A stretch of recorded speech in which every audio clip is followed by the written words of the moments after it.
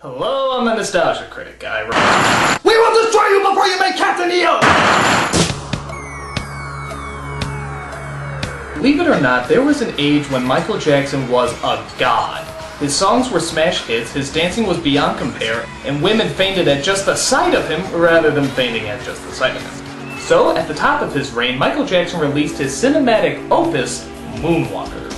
A strange little ego trip that shows us that not only does Jackson know how to sing and dance, but actually that's it, sing and dance. Because clearly he doesn't know how to tell a story, keep focus, or pull us in by any emotional means. Instead, we get sort of a photo album of his table scraps that mostly looks like scenes that would have been edited out of much better music videos. What do I mean by all this? Well, let's venture into this little amusement park of awkwardness to find out.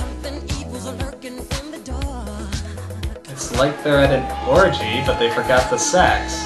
Bam, bam, motherfucker!